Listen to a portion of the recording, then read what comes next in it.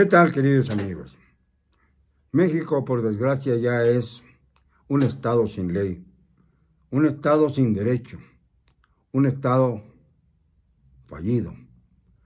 Esto es lamentablemente lo que ha llevado a López Obrador, al mandante Pelafustán, a situaciones tan extremas como la de invitar a desfilar en nuestro país, en nuestro desfile patriótico del 16 de septiembre, a delegaciones como la de Rusia, la de China, la de Venezuela, la de Cuba, la de Colombia, la de Chile, la de Nicaragua. Todas estas, y Venezuela, no podía faltar, todas estas delegaciones de países dictatoriales en donde se aplica la dictadura, en donde realmente el pueblo está oprimido, en donde no hay ni siquiera la libertad de expresión. Quizá por eso el señor Andrés persigue tanto a la prensa en México. Pero que justifique, por ejemplo, la presencia de Rusia y China en nuestro desfile.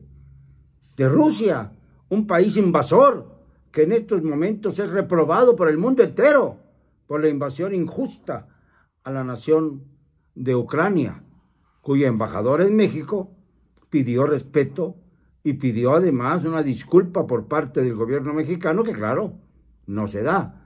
El presidente suele solicitar disculpas, por ejemplo, a España, pero es incapaz de disculparse con otra nación a la que ha afrentado y duramente invitando a una delegación rusa al desfile de la independencia.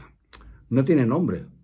No tiene nombre porque parece que está completamente del lado opuesto a la realidad, está fuera de la, de la historia de nuestro país, está tratando de enlazarse con los países eh, socialistas, de hecho ya fue admitido en el grupo 77, que es el de los países socialistas, el bloque socialista al rato nos van a sacar del G20, que es donde están las economías más importantes del mundo y que responde pues mayormente a estados occidentales, aunque también pertenecen a ese grupo Rusia y China.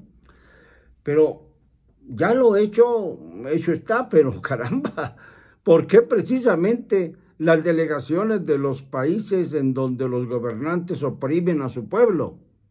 Lo persiguen, lo reprimen ¿Por qué?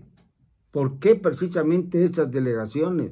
Y él además se puso en pie a aplaudir como foca, así fuerte, a cada una de estas delegaciones, como si se le fuera el alma en ello, como si tuviera que rendirles pleitesía, a pesar de que en México se rechaza profundamente a la dictadura y vamos a combatirla, porque esto ya se está poniendo cada vez color de hormiga.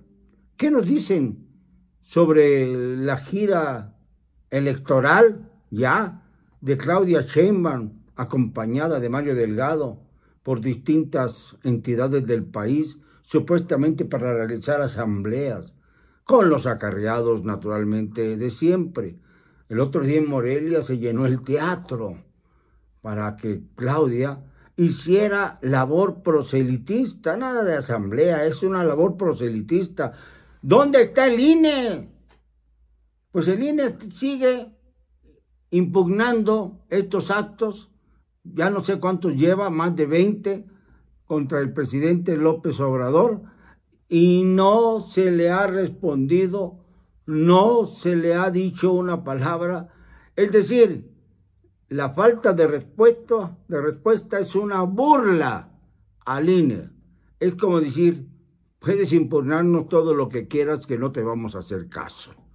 Y así ha disparado pues impugnaciones a Morena y sus adherentes y también al Frente Amplio Opositor, hay que decirlo, que se han pasado de todo este. El Frente Amplio Opositor tuvo que reaccionar al hecho de que querían adelantar la campaña, que la adelantaron ya desde hace tres meses.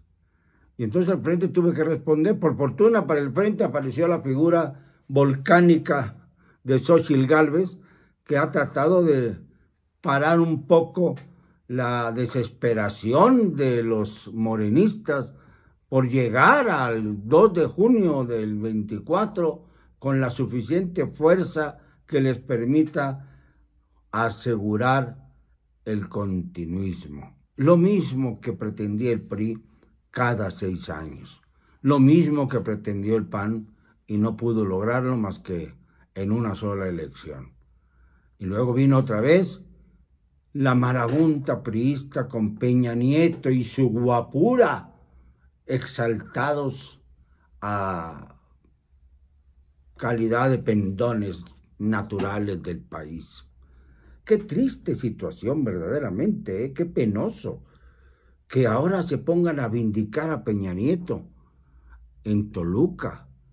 Yo no puedo tolerar esta situación, no lo, no lo permito. Peña Nieto es un rufián. Y así se nos ha dicho durante todo este sexenio, igual que se califica de corruptos a sus predecesores, desde Cedillo, Talinas, por supuesto, Fox, Calderón, pero resulta que a Peña se le abraza en esta última hora del ejercicio de cinco años, diez meses que le ha tocado ejercer al rufián López Cuarto. ¿Por qué? Ahora la pregunta de por qué esas delegaciones en México. ¿Por qué precisamente esas? ¿Por qué desafiar abiertamente, porque fue un desafío, a los Estados Unidos? Cuando acaban de extraditar a Ovidio Guzmán López, cuando acaban de liberar a Emma Coronel, cuando empiezan a moverse las piezas del narcotráfico como si fueran de ajedrez para reacomodarlas en el territorio nacional. ¿Qué acaso creen que con la entrega de Ovidio va a reducirse el narcotráfico? ¿Qué no vieron la cara de López IV cuando empezó el presidente de Colombia, Gustavo Petro, a hablar de los narcogobiernos? Parecía tan incómodo que no era posible ignorar que se estaban dirigiendo a él allá en Bogotá.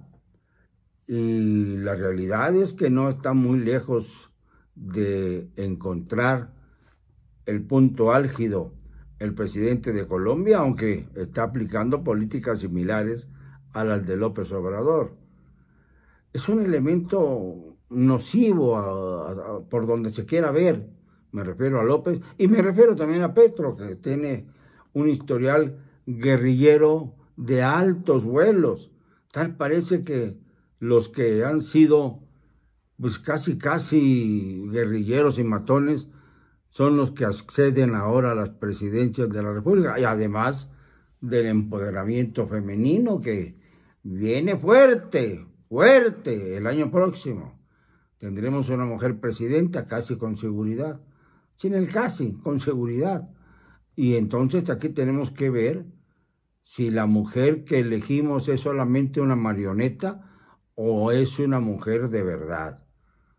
Es decir, con valentía, con fuerza anímica, con carisma, con capacidad operativa, lo que no quiere decir que lo pueda todo, sino que sepa elegir a quienes la van a rodear en el ejercicio del gobierno y que respete a todos los poderes de la Unión, cosa que no ha hecho este sátrapa que tenemos ahora en el Palacio Nacional.